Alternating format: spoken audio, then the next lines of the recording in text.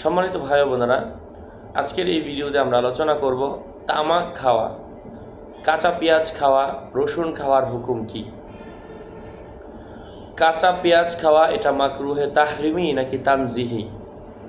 কাঁচা পেঁয়াজ, রসুন এবং তামাক খেয়ে খুলি না করে, মুখের দুর্গন্ধ না করে মসজিদে কেন যাওয়া যাবে না অথবা মসজিদে যাওয়াতে কেন নিষেধ করা হয়েছে? কাঁচা আহ, পেঁয়াজ খাওয়ার এত দোষ কিসের? কোন জায়গা থেকে এই দোষগুলো বের হয়ে আসলো? এই বিষয়গুলো নিয়ে আজকে আমরা এই ভিডিওতে পর্যালোচনা করব ইনশাআল্লাহ।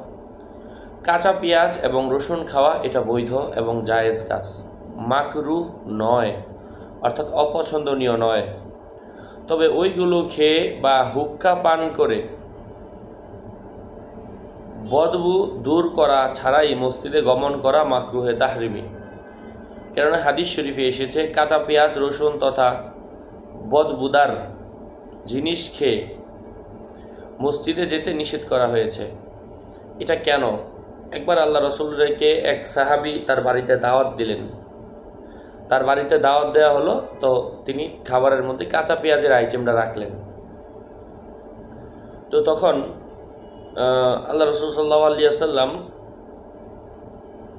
কাঁচা পেঁয়াজ খাননি অথবা কাঁচা পেঁয়াজ খাওয়ার সাথে সাথেই তিনি কুলি করে ফেলেছেন।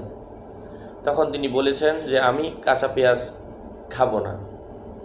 কারণ কি? কারণ হচ্ছে যদি আমি কাঁচা পেঁয়াজ খাই আমার যারা আছে তাদের কষ্ট হতে পারে। কষ্ট হতে পারে সাহাবাদের আহ, যেই ফেরেস্তারা যারা আমার কাছে ওহি নিয়ে আসে এই জন্য আমি খাই না। কিন্তু তোমরা তোমরা যারা আছো তা তোমাদের কাছে যেহেতু ওহি আসে না এই জন্য তোমাদের খাওয়াতে কোনো অসুবিধা নাই। এই জন্য কাঁচা পেঁয়াজ খাওয়া যাবে নর্মাল সাধারণ মানুষের জন্য, তবে অবশ্যই খাওয়ার সাথে সাথে ব্রাশ করে নেবেন। মিসওয়াক করে নেবেন, কারণ কাঁচা পেঁয়াজ খাওয়ার পরে যে দুর্গন্ধ হয়, এর কারণে মানুষের কষ্ট হতে পারে। আল্লাহ পাক আমাদেরকে বোঝার তৌফিক দান করেন। ফতুয়া রয়েছে আদিবুল ফতুয়া সাতশত একাত্তর নম্বর পৃষ্ঠা। আসসালামু আলাইকুম রহমতুল্লাহি বারকাত